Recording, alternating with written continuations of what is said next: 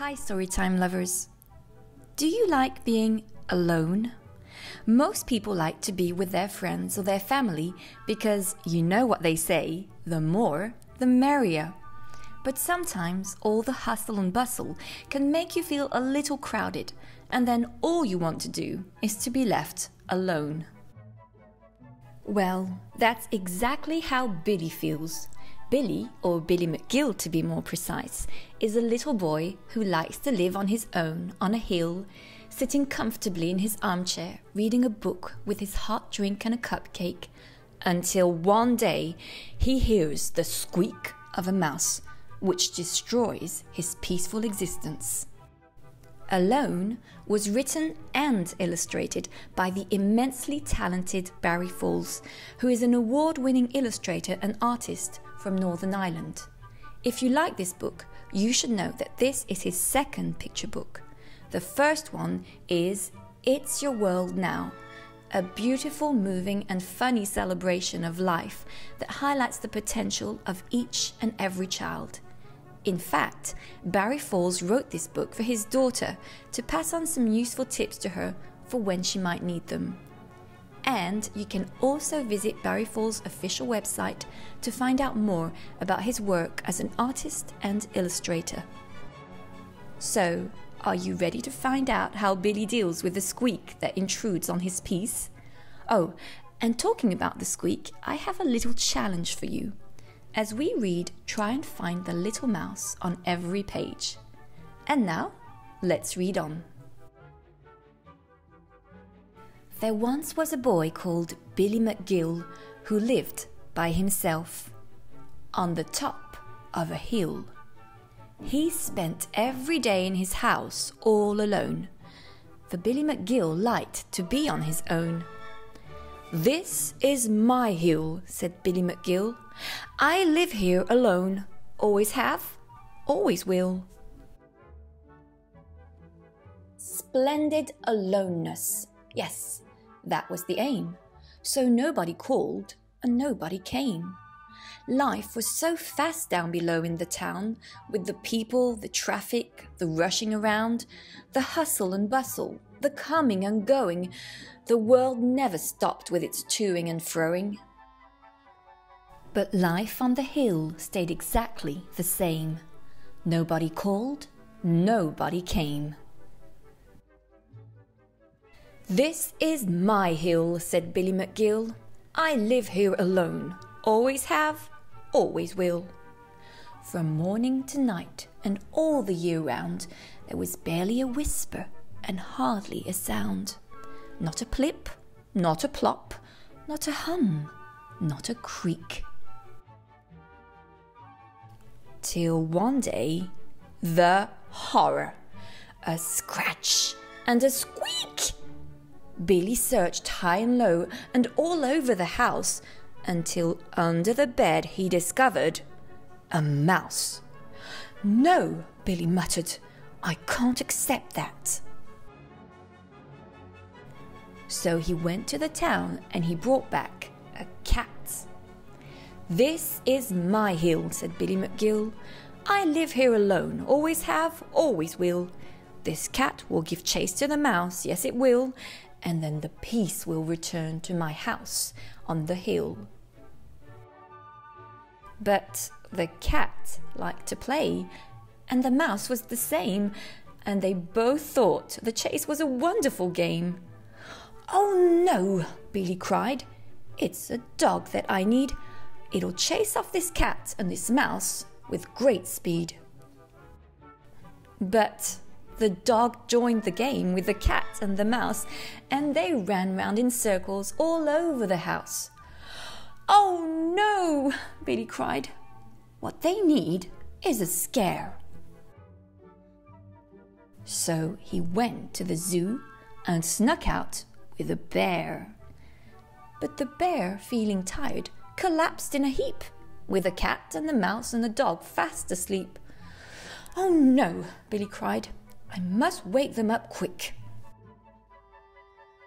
A roar from a tiger just might do the trick. But the tiger he fetched had a terrible sneeze, and the roar, when it came, was no more than a wheeze. This won't do, Billy said.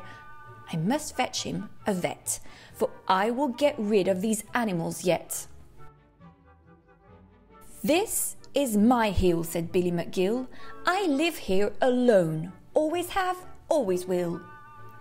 The vet, when she came, said, Let's knit him a sweater. This beast has a cold. It will make him feel better. I can do it for you. You must get me some wool. Fetch a sheep with a coat that is fluffy and full. So the sheep Billy found was as big as a cloud. How on earth will I clip it? he wondered aloud. My friend's a hairdresser. He'll know what to do, said the vet. He will shear the sheep nicely for you. So the vet asked her friend, Can you help? He said, Maybe, as long as you're there to look after my baby. This is my hill, said Billy McGill. I live here alone. Always have, always will. As soon as they came, the poor babe started crying, and the hairdresser said, There's just no use in trying. I can't share the sheep while my baby's upset. We must get him a toy. Oh, the poor little pet. To the toy shop, said Billy. I'll be back very soon. He returned with a fabulous bright red balloon. Oh, how perfectly chosen, the hairdresser said. His favourite colour has always been red. But just at that moment, the wind began blowing. The house was beset by a thunderstorm growing.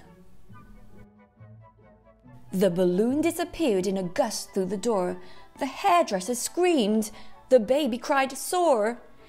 Enough! Billy roared. I can't take any more. All this noise and confusion. And what is this for? This is my hill. I am Billy McGill. I live here alone. Always have. Always will.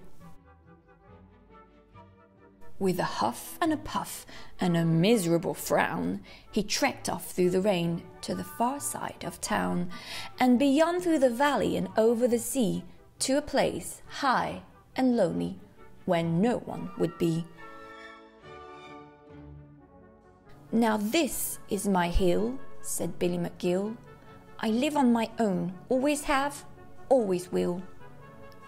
The evening grew cold, and as the sun set, he thought of the tiger, the sheep, and the vet, and the dog, and the bear, and the hairdresser, too. And just then, a red balloon blew into view, and the poor little baby popped into his head, the baby whose favourite colour was red. He reached for the string and he went down the hill and over the sea. He kept going until he had passed through the town and arrived at his house. The one with the dog and the cat and the mouse and poop everywhere and the sheep was asleep with the bear on the chair. I'll fix this, said Billy. I'll fix it all soon. And he handed the baby the bright red balloon. The baby stopped crying and fell fast asleep, and the hairdresser set about shearing the sheep. The vet made a sweater the tiger soon wore, and the tiger, much better, recovered its roar. The bear, in a panic, ran out of the house, chasing after the dog and the cat and the mouse. The rest of them left in a minute or so, and Billy was pleased to see everyone go. This is my hill, said Billy McGill. I live here alone. Always have, always will. Now Billy is happy, and peace is restored. His house on the hill is in chaos no more. There's hardly a whisper, there's barely a sound, except on Tuesday when friends come around. The end. So, did you find the little mouse on every page? If you didn't, play back the story and try and spot it again. Another little challenge for you Do you remember how many animals Billy brings home? Can you name them all? Press pause and have a think. Let's see. There's the cat, the dog, the tired bear, the tiger with a sneeze, and the big woolly sheep. And one last question. In the end, what do you think Billy prefers? To live on a hill on his own or to have company? To get your own copy of Alone to read again and again, please check out the description box below. And I would love for you to consider subscribing to my channel and my Instagram page. Take care, read on, and see you soon.